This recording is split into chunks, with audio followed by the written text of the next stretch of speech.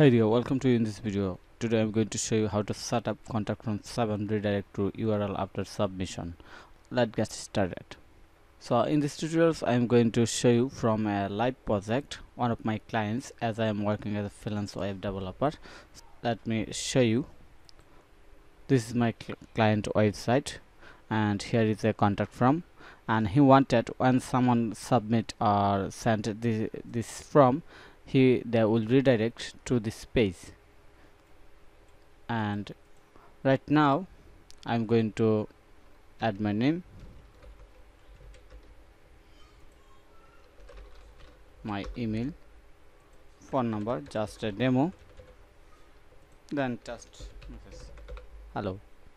Okay send it and we see that there is a thank you for your message. It has been sent. But my client wanted to when click on the send or submit this form it's automatically redirect to this page.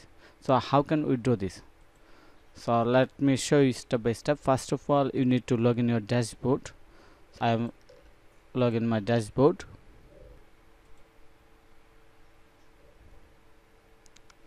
Then you have to open your theme functions.php file.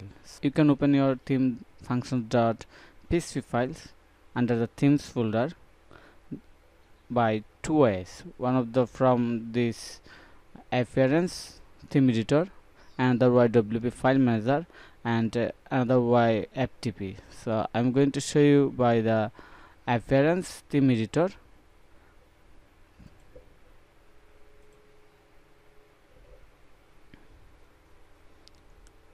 then click on the functions.php file. Then go to at the bottom.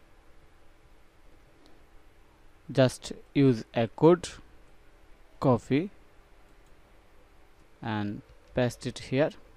And of course uh, at the location you have to add your url or page link. So my website url is this one. Just going to copy this one and paste it here. And click on the update file. So now let me show you the result after I added this code at the functions.php file. So this is my page just going to reload this one again.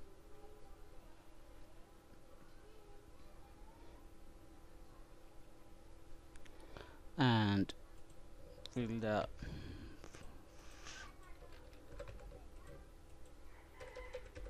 just a demo. Hello. And going to submit this from click on the send button wow that has been work you have fixed your solution so thank you for your time to watch this video if you like this video then click on the like button and subscribe to my channel to get more relevant tutorials